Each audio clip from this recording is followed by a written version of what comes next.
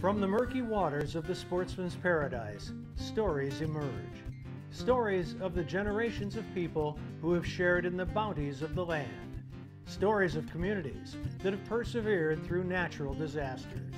Stories of the abundance of fish, wildlife, and adventures that create an ecosystem rich in diversity.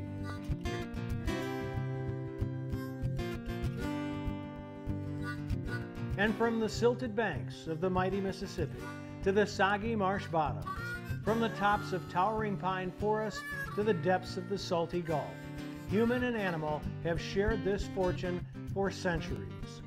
Enjoy these stories as told by outdoor journalists who travel across our state documenting the adventure, sportsmanship, and heritage that make us Bayou Wild.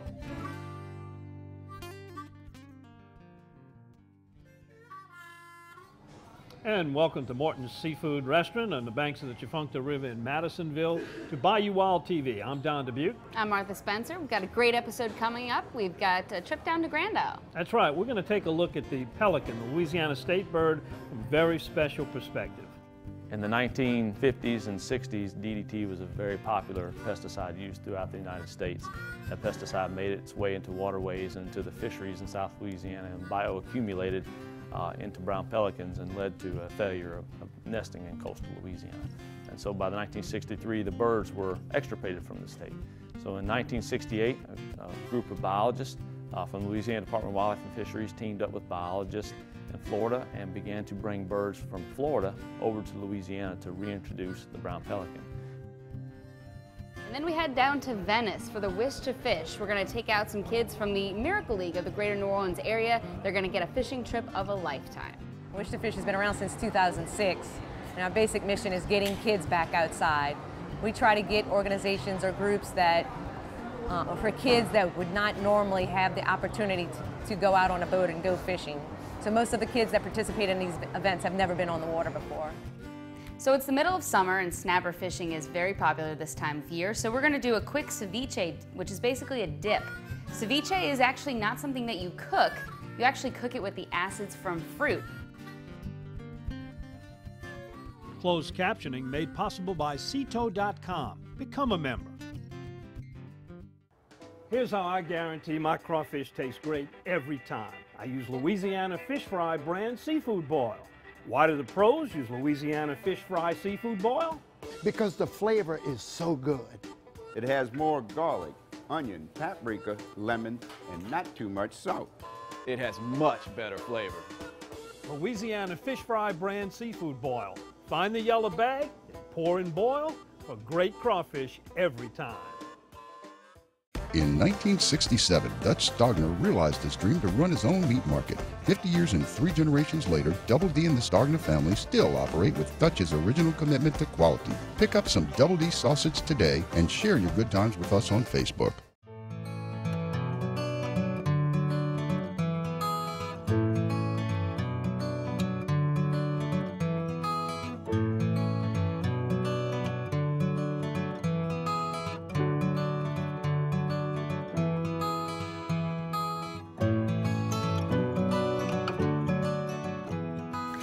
Find out if alternative treatment is the answer to your pet's health issues. Contact Dr. G at vetnaturally.com.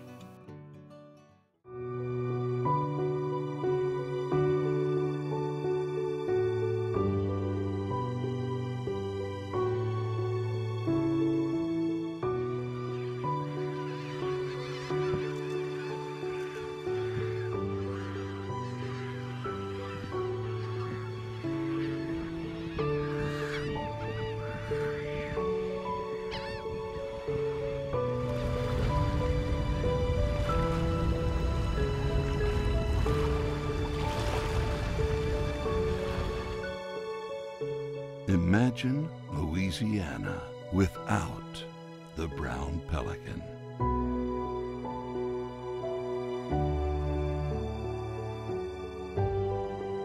It's hard to believe that Louisiana's state bird, a symbol that has represented Louisiana even long before statehood, was once on the brink of extinction. In the 1950s and 60s, DDT was a very popular pesticide used throughout the United States. That pesticide made its way into waterways and into the fisheries in South Louisiana and bioaccumulated uh, into brown pelicans and led to a failure of, of nesting in coastal Louisiana. And so by 1963, the birds were extirpated from the state. So in 1968, a, a group of biologists uh, from the Louisiana Department of Wildlife and Fisheries teamed up with biologists in Florida and began to bring birds from Florida over to Louisiana to reintroduce the brown pelican. Over the next eight years, more than 750 brown pelican chicks were relocated from Florida to Queen Bess Island near Grand Isle. The year 1971 was monumental for the brown pelican as biologists documented 11 nests, which marked the first successful recolonization of the species in over a decade.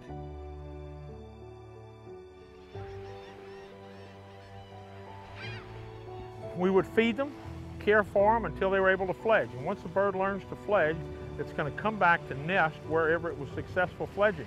It's a tribute to the Louisiana Department of Wildlife and Fisheries for taking a chance when there wasn't a lot of data. And there's a lot of people that were involved in this reintroduction and restoration program. The furthest western population during that reintroduction effort was in Panama City. So it was going to take a lot of time in order to get that, that species to naturally colonize this area. But we knew that the habitat was here. So that's why when we brought them here, we only had to do that a couple times in order to get this population going. And really it's about the habitat and maintaining these habitats out here.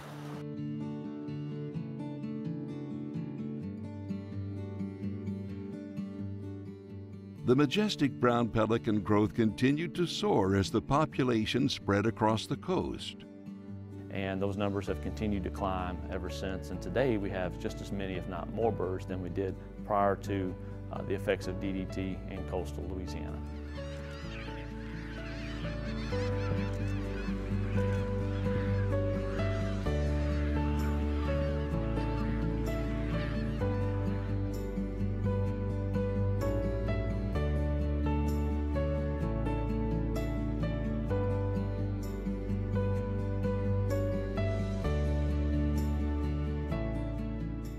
2009, the brown pelican was removed from the Louisiana Endangered Species List.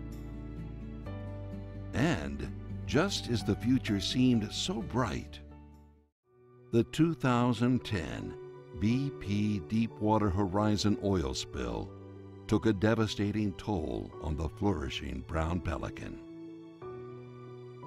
largest man-made disaster in the United States. And all that oil moved into coastal Louisiana. And just like you would expect, very similar to DDT, those effects started showing up on brown pelicans. We were seeing brown pelicans come into the colonies oiled, and then sure enough, the oil came in and affected the colonies, and the birds were further impacted. So there was a large effort to go out and capture these birds, rehabilitate them. Um, and now we are in that post oil spill world, and we're starting to get some of the funding uh, from BP for those impacts. And today we're also talked about how the state is under engineering design to do a large-scale restoration effort on Queen Bess Island.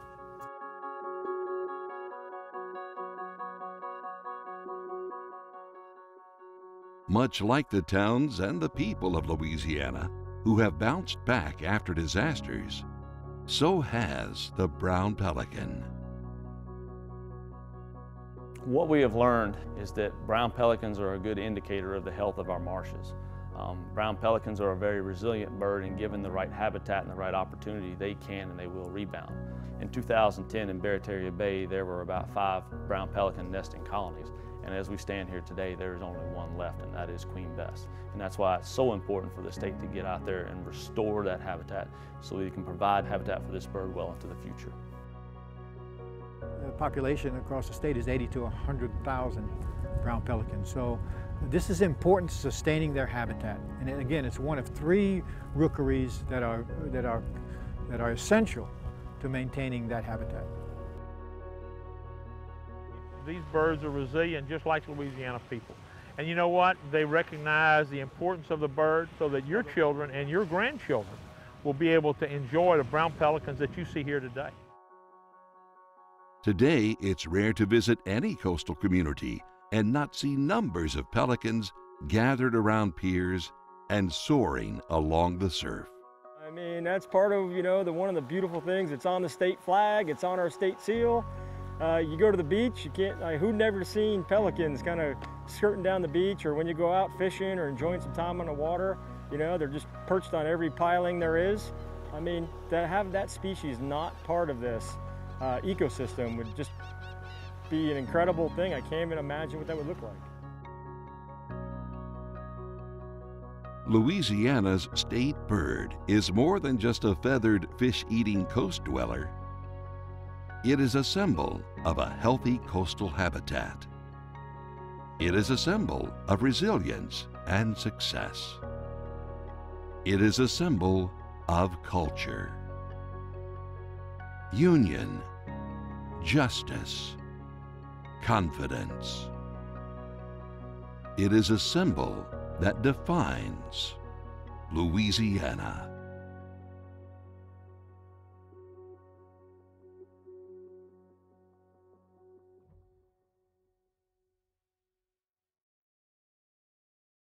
Hi, I'm Donnie Rouse. There are a lot of different reasons to shop at Rouse's. It's the people. Everybody that works here is just so nice. Our stores get deliveries seven days a week. They have such a wide variety at Rouse's. Everything's in stock. I mean, everything. We use Rouse family recipes and ingredients found right here in the store.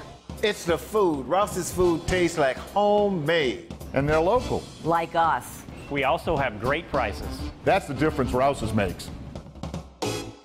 In 1967, Dutch Stogner realized his dream to run his own meat market. 50 years and three generations later, Double D and the Stogner family still operate with Dutch's original commitment to quality. Pick up some Double D sausage today and share your good times with us on Facebook. Here's how I guarantee my crawfish tastes great every time. I use what the pros use. I use Louisiana Fish Fry brand seafood boil. Why do the pros use Louisiana Fish Fry seafood boil? Because, guys, it has more herbs and spices. It has a much better flavor. It's easy, just pour and boil. Louisiana Fish Fry brand seafood boil. Find the yellow bag, pour and boil for great crawfish every time.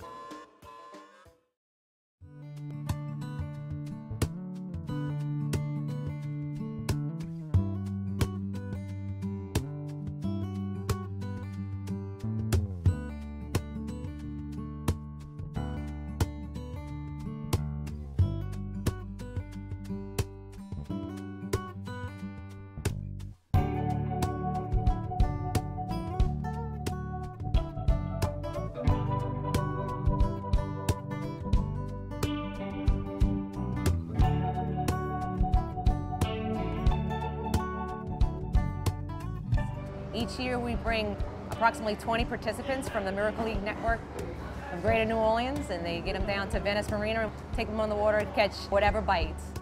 They're excited. They already got their fish stories loaded up on the bus. They tell me how big their fish is going to be. They got their ice chest ready to go for all their big catch. So they're excited. They know they're going on a boat. They might be a little hesitant to get out on the water, but once they get out there, they hoping to come back with a big catch.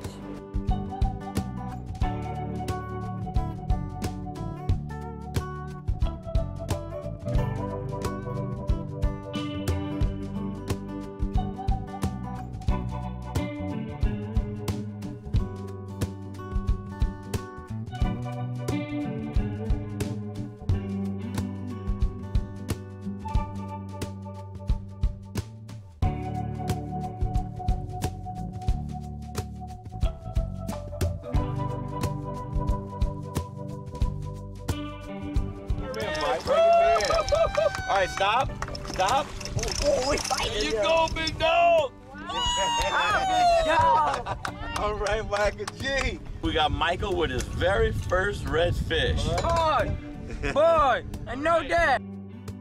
Wish to Fish has been around since 2006, and our basic mission is getting kids back outside. We try to get organizations or groups for kids that would not normally have the opportunity to, to go out on a boat and go fishing. So most of the kids that participate in these events have never been on the water before. Look at there.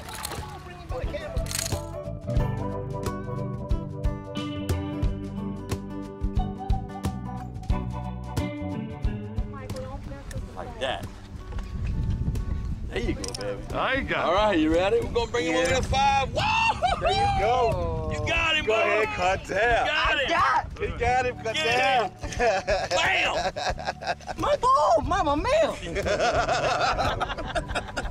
Every year is different because you never know if you're going to catch or not. So, you know, I have a waiting list of kids who are like, if you don't have anybody to go, I can go. And the word has traveled throughout the league about how special this trip is. Just the expectation of catching a big one. Woo, that's a keeper there, bro. We need a net. Oh, there he goes. Look the spot. Look at the spots on that guy. Big dog, boy. No Taco Bell. No Taco Bell. Absolutely. You know, we all take this for granted. When we go out fishing, we're trying to catch 25 trout in Louisiana. These kids go out and we get thank you letters from the organizations and from the kids specifically. And it's rarely ever about catching a fish. It's always, thank you, Captain Bula, for letting me drive your boat. Thank you, Miss Danica, for letting us go out on the boat and ride in the in the air and, and just have a good time on the water. It's rarely ever about thank you for catching, thank you for letting me catch a fish. Bring it, bring it, bring it. Oh, bring him up, bring him up.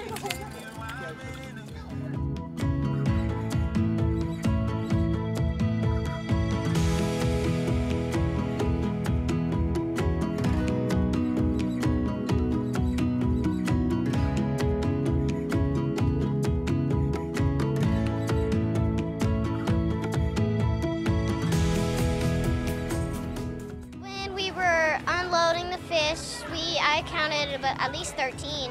Um, about five redfish and the rest were about sheepheads. As far as the guide's concerned, we had a struggle. I had a struggle. Not because of these boys, but because the fish didn't cooperate. But when they would catch a croaker and watch the smile on their face and, you know, I caught a fish, I caught a fish, that meant so much to me. When we take these kids out on the water, especially today out of Venice, and we take the, the children from um, the, the Miracle League, they get to go out, and it's not just about the kids, it's about the family members as well, the moms, the dads.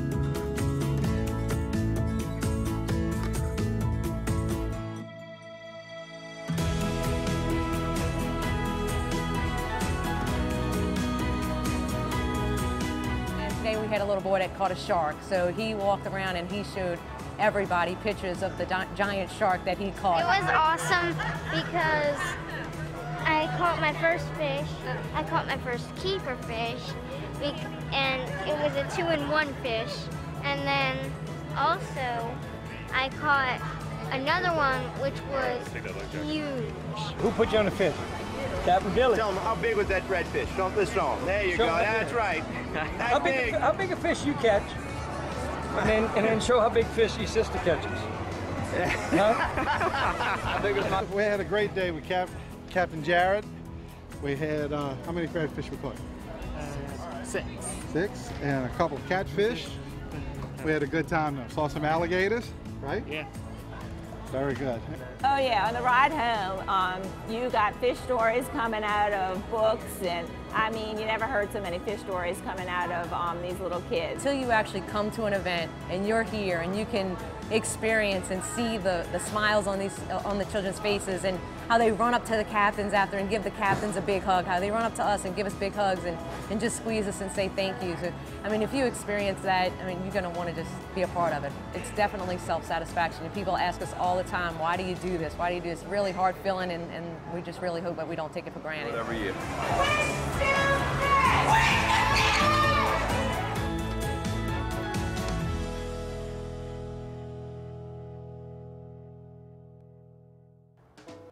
Here's how I guarantee my crawfish taste great every time. I use Louisiana Fish Fry brand seafood boil. Why do the pros use Louisiana Fish Fry seafood boil? Because the flavor is so good. It has more garlic, onion, paprika, lemon, and not too much salt. It has much better flavor. Louisiana Fish Fry brand seafood boil. Find the yellow bag, and pour and boil for great crawfish every time. In 1967, Dutch Stogner realized his dream to run his own meat market. 50 years and three generations later, Double D and the Stogner family still operate with Dutch's original commitment to quality. Pick up some Double D sausage today and share your good times with us on Facebook. So it's the middle of summer and snapper fishing is very popular this time of year. So we're gonna do a quick ceviche, which is basically a dip.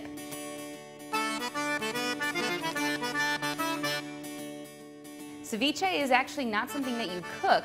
You actually cook it with the acids from fruit. Now what we've got here is two small fillets from a red snapper. You can use any kind of snapper, beeliner, mangrove snapper, whatever you have. You want to fillet it off the skin. And what we're going to do first is the cooking process, and that's what's done with the fruit. Basically, the citrus, the limes, the lemon actually cooks the meat. We like to cook it and slice it very thin. Everything in this, I think, tastes better when it's sliced thin. It kind of gels all the flavors together. So you really just want to put your fingernail against it, slice against the grain, kind of like you would a skirt steak, till you get these little tiny strips. And try not to get any bloodline in there either. This is also gonna help the meat cook a little bit faster. This is actually something you can even do on the boat. You can prepare your vegetables and fruits for the dip and then just add the cooked fish if you want. I learned this recipe from my boyfriend. He uh, makes the best ceviche I've ever had. And uh, I've tried it a lot of different ways. You can actually make it with shrimp too. You might see that in restaurants a lot. The next step shows how much I cut my fingers when I'm fishing because Every time I cut lemons and limes, I tend to find the juice on my hand stinging something. Now, generally it depends on how much fish you want. I usually get about eight limes. Uh, I've got a mix of lemons and limes here. But the goal is you want to get enough fruit so that you can actually uh, coat the meat completely, have it pretty much buried. You'll know it's done if the meat, you can't see through it. You want it to be kind of white. And it generally takes, depending on how much you have, about two to three hours. But that's good. So basically you want to have enough juice, maybe one more, kind of knead it down with my fingers, to where it's completely wet and all the meat is covered in, submersed in some juice. So now the fish is ready to cook. And this is where the chemical reactions take place. I usually just put it back in the fridge just like this for about two hours. When we come back, we'll drain a little bit of the juice out and add the rest of the ingredients. Here's how I guarantee my crawfish tastes great every time. I use Louisiana Fish Fry brand seafood boil. Why do the pros use Louisiana Fish Fry seafood boil? Because the flavor is so good. It has more garlic, onion, paprika, lemon, and not too much salt. It has much better flavor. Louisiana Fish Fry brand seafood boil. Find the yellow bag and pour and boil for great crawfish every time. If you hunt or fish, you really need to check out 20echo.com. It's an app that you can take on the water or on the hunt. It logs all the information. It's got the date, the GPS location, tons of information to log your catch or kill. It's a great thing to have. Check it out at 20echo.com and you'll see it more on Bayou Wild TV. In 1967, Dutch Stogner realized his dream to run his own meat market. 50 years and three generations later, Double D and the Stogner family still operate with Dutch's original commitment to quality. Pick up some Double D sausage today and share your good times with us on Facebook. Welcome back. Well, our ceviche is almost ready. We've got our snapper fish already cooked in the lime juice. You can see how it's changed color. It's kind of white now, opaque a little bit. You can't see through it anymore, so that's how you know it's done. Now we're gonna drain a little bit of the lime juice out, not all of it, but enough so that it's not soupy. This is the easy part. We're gonna add one yellow pepper. You can use any color you want. I tend to think that the colored flavors taste a little bit better. They're sweeter. They didn't have any reds at the store, so I got orange and yellow. One red onion. I prefer red onions, got a little more flavor. I'm not going to use all of this because it is a big onion and there's not a huge amount of fish here, so maybe about half of an onion.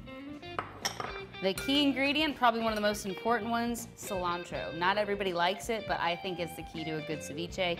Finely chopped up a little heat. We've got jalapeno, one jalapeno and one habanero finely chopped. There's one ingredient I don't have here that I sometimes do include, and that's fruit. You can use peaches, you can use nectarines or pineapple, uh, anything really sweet. Sometimes people even include watermelon. Over here is our avocado, but since this is a very ripe avocado, I'm gonna wait till this is mixed in before I add that. Also, you wanna add some cracked bell, uh, black pepper. I'm always pretty generous with this. Now the best part about this ceviche, it actually tastes better the next day after it sits in the refrigerator for a few hours and kind of blends the flavors of the vegetables. So it actually will really taste better tomorrow. A little bit of sea salt. One more touch before I'm gonna add the avocado. Just a capful of club soda. What this is gonna do is take some of the tartness of the lime juice and lemon juice out. It's all you really need there. Kind of neutralizes the acids a little bit, makes it a little bit less bitter. It's all you need is one capful, maybe two. Just a little dash. Nice ripe avocado. You don't want one of those hard ones. They don't really taste so good.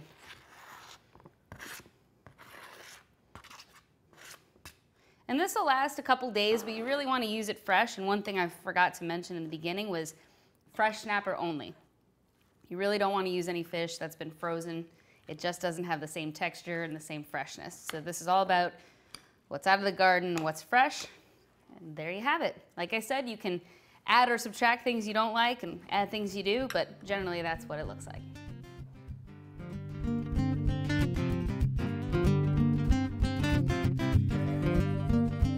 Hi, I'm Donnie Rouse. There are a lot of different reasons to shop at Rouse's. It's the people. Everybody that works here is just so nice. Our stores get deliveries seven days a week. They have such a wide variety at Rouse's. Everything's in stock. I mean, everything. We use Rouse family recipes and ingredients found right here in the store. It's the food. Rouse's food tastes like homemade. And they're local. Like us. We also have great prices. That's the difference Rouse's makes.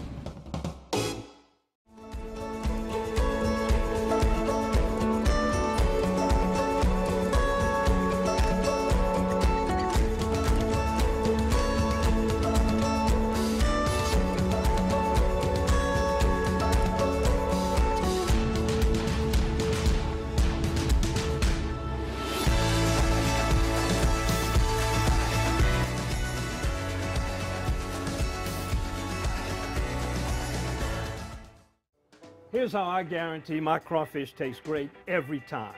I use what the pros use. I use Louisiana Fish Fry brand seafood boil. Why do the pros use Louisiana Fish Fry seafood boil? Because, guys, it has more herbs and spices. It has a much better flavor. It's easy. Just pour and boil. Louisiana Fish Fry brand seafood boil. Find the yellow bag, pour and boil for great crawfish every time. All right, next week we will be in Alaska.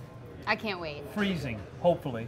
But we're going to be here for you. Jim Henderson, the voice of the New Orleans Saints, retired recently. But one thing he did not retire from is fishing. We take you fishing with Jim Henderson. This is the thing I would rather do more so than anything, and that's to make trips like this.